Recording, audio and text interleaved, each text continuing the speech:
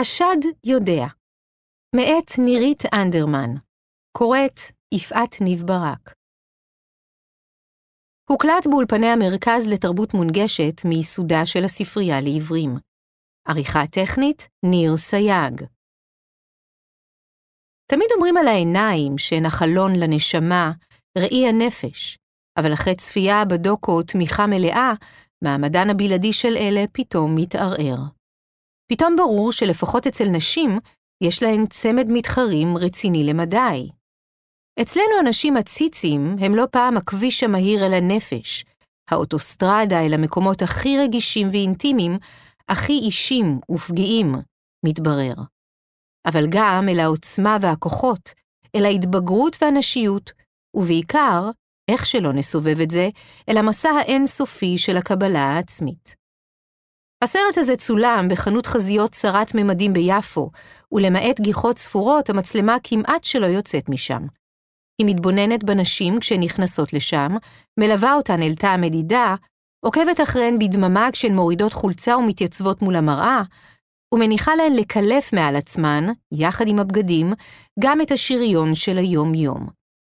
המפגש הזה עם בבואתן, עם עצמן, עם החזה שתמיד כלוא ומוחזק ומוסתר, ולפתע הוא חופשי ומשוחרר, ומקבל את מרכז הבמה, בידיעה שמאחורי הווילון ניצבות כמה נשים שנסתרות מן העין, אבל נמצאות במצב של הקשבה מלאה, המוכרת והבמאית, הצלמת והמקליטה, מחלצים מהן וידויים אישיים מגוונים. חנות החזיות נדמת לפתע כמקדש לנשים בלבד, ותא המדידה הצר הופך למרחב מוגן שמתפקד כתא וידוי. בחלון הראווה של החנות נועה, הממוקמת בשדרות ירושלים ביפו, תלויה חזייה אדומה, עצומת ממדים, ולצידה שלט צנוע שעליו נכתב בכתב יד, כן, זה אמיתי, בצירוף סמיילי קטן. אישה בעלת חזה גדול במיוחד שנכנסת לחנות, משתפת על החיים בצילו של האיבר הבולט, שמושך המון תשומת לב, משפיע עמוקות על היחס שהיא מקבלת מסביבתה, ועל האופן שבו היא עצמה מתנהלת בעולם. אחת אחרת שהסתובבה כל החיים עם חזה שטוח כמעט לחלוטין, ועברה לא מזמן ניתוח הגדלה, מספרת על קבלת הפנים שציפתה לה מיד לאחר שינוי הסטטוס הזה. מוסלמית שאותה חיג'אב, מסבירה כיצד כיסוי הגוף מעניק לה דווקא ביטחון וחופש. וצעירה טרנסית שמתרגשת לקנות חזייה ראשונה, מחייכת ומציגה את הצמד החדש שלה, שזקוק לדבריה לקצת תמיכה ואהבה. הווידויים מתחילים בדרך כלל בחזה, אבל די מהר גולשים ועוברים אל החיים עצמם. תמיכה מלאה, שמוקרן בימים אלה בסינמטקים וישודר בנובמבר בערוץ כאן 11, הוא אחד מסרטי הדוקו היפים שהופקו כאן בשנה האחרונה. מונולוגים אינטימיים שמתחילים בציצי, ונגמרים בגברים, ביחסים, במהפך אישי ובמנעד רגשי, ברילוקיישן ובמלחמות, במוות ובבתי קברות. השדיים, מסתבר, הם נקודת מוצא לכל דבר עלי אדמות כמעט. ותמיכה מלאה הוא אחד מחמשת הסרטים שמתמודדים בימים אלה על פרס אופיר לסרט התיעודי הטוב ביותר. טקס חלוקת הפרסים מתקיים ב-16 בספטמבר. בניגוד למה שאפשר היה לצפות, היוצרת של הסרט הזה, מיכל כהן, מעידה על עצמה שהיא דווקא לא מאנשים שהסתובבו יותר מדי שנים עם תסביכי ציצי. אני לא יצאתי למסע הזה כי הנושא הזה בער בי. לא היה לי איזה עניין יוצא דופן איתו, אבל אני חושבת שאצל כולנו, אצל כל הנשים, הדבר הזה הולך לפנינו, היא אומרת. אני מרגישה שציצי זה משהו שעומד בינינו לבין העולם. הרי לאן שאת באה, הוא בא קצת קודם. או שהוא בא הרבה קודם, והוא תמיד עומד בינך לבין מי שמולך. בזכות הסרט הזה יצא לה לדבר בשנים האחרונות עם המון נשים על ציצים. היא מסבירה, אפשר לחלק את הנשים בהקשר הזה לשני מחנות. ישנן אלה שאומרות, וואו, טוב, חבל לך על הזמן, הגעת אל הבן אדם הנכון. תפני לפחות שעה. ויש את אלה שאומרות, דווקא אין לי כזה אישו עם הנושא הזה. אני מאז ומתמיד הייתי שייכת למחנה השני. הייתי מאלה שאומרות, לי אין כזה אישו עם הציצים. אבל בשביל הסרט התחלתי לחפור עם עצמי ולכתוב לי ציוני דרך שבכל זאת היו שם, ואני יכולה לומר שהרשימה הזאת עוד הולכת ומתמלאת. כי היו כל כך הרבה רגעים שעיצבו את מערכת היחסים שלי איתם. רובם לא היו כיפים במיוחד, אבל לא יצאתי למסע הזה מתוך איזה אישו, אלא משום שזה מעניין. מעניין לשמוע את הדיאלוג הזה, את השיחות האלה. רק אחר כך התחלתי לבדוק איפה כל זה פגש אותי. איפה באמת? איפה זה פוגש מישהי שמסתדרת לא רע עם הציצים שלה? אפילו שלא היה לי ביג אישו עם זה, זה כאמור משהו שתמיד הולך לפנינו. ונגיד, תשבי עם כמה נשים בשולחן, ומישהי תגיד, נכון ציצים? תתחיל שיחה של שעה כי זה נושא אינסופי. אבל מה שהבנתי בזמן העשייה של הסרט, הוא שזו בעצם עוד מערכת יחסים שאנחנו מנהלות. כי ליחס שלנו אל הציצי שלנו, יש המון מאפיינים של מערכת יחסים. זה מתחיל עם התרגשות גדולה וחששות, ואחר כך יש כל מיני אכזבות, משברים ופרדות. וגם, בדיוק כמו הרבה מערכות יחסים, מצד אחד זה כיף, זה סקסי, זה מגניב, אבל מצד שני זה קצת מסרבל, זה קצת מעיק, זה קצת מכביד וקצת מאט. זו בעצם מערכת היחסים הכי ארוכה שיש לנו בחיים האלה. ועוד עם שניים. ממש, לגמרי, וזה מגיע עד כדי חיים ומוות. כי ברגע שאנחנו נולדות, אז הציצי שם, נותן לך חיים, ומצד שני בגיל מסוים את מתחילה לקבל זימון לבדיקה אחת לשנתיים, תזכורת לכך שיכול להיות שזה יהיה מה שיהרוג אותך. חיים ומוות. כהן, בת 49, מספרת שהרעיון לצלם סרט בחנות חזיות התנחל אצלה בראש כבר לפני הרבה שנים. כשנקלעה לחנויות כאלה בעצמה והקשיבה לשיחות שהתנהלו בתאים הסמוכים לשלה, לא יכלה שלא לחשוב כמה נפלא היה להקליט את כל אלה. יש משהו בדיאלוגים האלה, בגלל שאת באה למקום זר ומיד צריכה להתפשט, להיות מול עצמך, להתבונן בראי, ככה באור, ואת צריכה לדבר. את צריכה להסביר למוכרת מה את רוצה, מה את אוהבת, מה את לא אוהבת, את מה את רוצה להבליט ואת מה להסתיר, היא אומרת. כך שמצד אחד זה מקום שהוא מוגן ונשי ונסתר, ומצד שני גם נורא חשוף. המפגש הזה עניין אותי. ואולם, מאחר שביומיום של הכהן, בוגרת סם שפיגל היא בכלל עורכת ולא במאית, הרעיון הזה נותר תקוע באיזו מגירה למשך שנים רבות, בלי שהתפנתה לטפל בו. כהן ערכה לאורך השנים שורה ארוכה של סרטים וסדרות, בהם עבודה ערבית, בטיפול, ואחד המאה ואחת, ורק בתקופת הקורונה, כשתעשיית הקולנוע והטלוויזיה הושבתה, היא מצאה עצמה לפתע באיזה ואקום, שפינה לה זמן ואפשר לה לשקול לביים משהו. היא כבר ביימה דוקו אחד, בתפקיד עצמם, 2017, על קבוצת התיאטרון ציפורלה, וכשהתלבטה איזה פרויקט חדש להגיש לקרן לקבלת תמיכה, ושיתפה חברות בהתלבטות בין כמה רעיונות, כולן התייצבו בחזית אחידה. הציצים כמובן, אין בכלל שאלה. היו לי גם כמה מחסומים דבילים שעיכבו את העשייה של הסרט הזה, כמו המחשבה שאם אני אעשה סרט על ציצים, אני אשב בפגישות עבודה ואנשים ירגישו בנוח לדבר אליי ככה. היא אומרת ומשפילה מבט מטה לגובה החזה. זה איים עליי ברמות. זה כבר קרה לי בעבר, וזה מסוג הדברים שמכווצים אותי. כבר קרה לי שישבתי בפגישות עבודה מול אנשים שיש להם את המבט הזה, הנמוך. אגב, לא בהכרח מתוך רצון או כוונה להקטין או לצמצם אותך, יכול להיות שזה בלתי נשלט או איזה חוסר מודעות, אבל אותי זה משתק. אז אמרתי לעצמי, מה, זה יהיה נושא השיחה שלך עכשיו שלוש שנים? ומה לעזאזל תלבשי לפרימיירה? אז גם מחסומים דבילים כאלה עיכבו אותי. אבל מרגע שהלכתי על זה, לגמרי התאהבתי בדבר. אל החנות ביפו הגיעה כמעט במקרה כשנזקקה לחזייה. היא גרה בדרום תל אביב, הגן של הילדות, יש לה שלוש, ביפו, ומישהי סיפרה לה על נועה שנמצאת על הדרך. כשנכנסה לשם הבינה שמצאה את מה שחיפשה. חזייה היא אמנם לא קנתה באותו יום, אבל לוקיישן שבו יצולם הסרט הבא שלה, בהחלט כן. הרבה אמרו לי, יש את החנויות של פעם, עם הממות, זה מה שאת צריכה. אבל אני לא רציתי ללכת למקום הזה, הפולקלורי, כי לא רציתי לעשות סרט על חנות, רציתי לעשות סרט עלינו. עליי, עלייך, עליה. והרגשתי שבחנות הזאת יש משהו שמאפשר לכל אחת להיות מי שהיא, ולא מושך את תשומת הלב אליה או אל המוכרות, מסבירה כהן. בעת הצפייה בסרט קשה שלא להבחין בממדיה הצנועים של החנות, ולתהות כיצד הצליח צוות צילום שלם להידחס שם, מאחורי הווילון של תאי המדידה. כהן נאנחת כשהיא נשאלת על כך, ומודה שלא היה פשוט להצטופף שם, יחד עם הצלמת טליה טוליק גלאון, ועוד להשאיר מספיק מקום למקליטה ולמוכרות, שצריכות לרוץ ולהביא חזיות ללקוחות. ובתוך כל זה לשמור על אווירה נינוחה, שתזמין פתיחות ושיתוף. מנגד, הטקטיקה שהיא בחרה לסרט הייתה כזאת שמשאירה לנשים המצולמות שליטה בלעדית על המרחב. הן אלה שקבעו מה ייאמר ואיך ייאמר, וכיצד יצולם. כל אחת מהנשים שהסכימו להשתתף בסרט, קבעה בעצמה את רמת החשיפה שלה, החליטה לבדה על גודל הפריים, הבהירה לצוות הצילום אם היא מוכנה שיצלמו אותה עד קו הכתפיים, או מעט למטה מכך, או קצת מעל החזה, כל אחת ומה שנוח לה.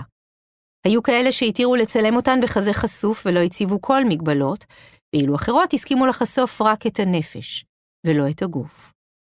יש בסרט המון עניין של הסכמה, אומרת כהן. המילה הראשונה בו היא אפשר, וגם ההחלטה שכל אחת תבחר את גודל הפריים שהיא מצטלמת בו, הגיעה מהמקום הזה. לא רציתי להחליט בשבילן מה יראו, ובכלל כל התמה הזאת בסרט, של הרשאה, של הסכמה, שאנחנו פותחות לפניכם את הווילון, בואו תראו. זה הכוח של הקולנוע להכניס אותך למקומות שאחרת אין כניסה אליהם. כששואלים אותי אם זה סרט שמיועד יותר לנשים, הכי לא. זה כאילו אנחנו אומרות, גם לגברים עכשיו מותר להיכנס, אנחנו מסכימות, אז בואו תראו, תשמעו. אלה אנחנו.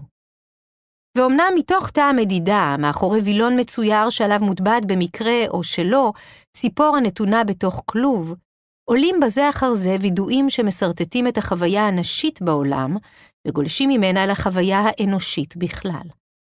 הנשים שבאות לרכוש חזייה מביטות על החזה שלהן, בוחנות אותו, מזיזות ומקפיצות, דוחסות ומשחררות, שולחות מבט מהיר מימין ועוד מבט משמאל.